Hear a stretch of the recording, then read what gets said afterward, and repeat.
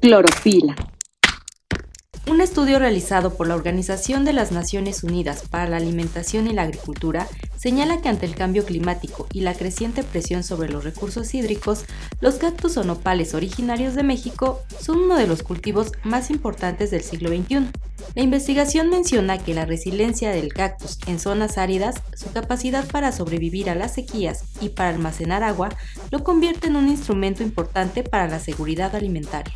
La planta se encuentra igualmente en granjas de Argelia, Marruecos, Túnez o Sudáfrica, y en países como India, Pakistán y Kenia, donde se registra un incremento en su producción y uso.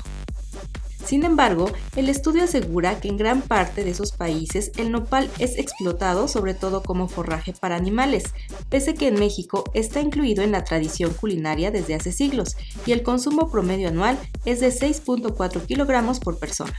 El estudio arroja que aunque ha habido un aumento generalizado en el cultivo del nopal en las últimas dos décadas, aún queda mucho por hacer para convencer a los productores que la planta puede dar altos rendimientos y buena calidad si recibe la atención adecuada.